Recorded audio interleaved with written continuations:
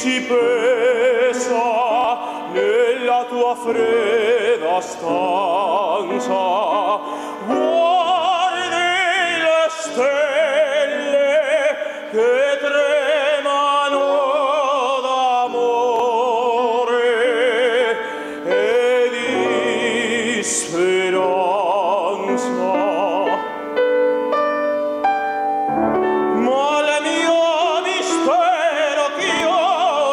Amen.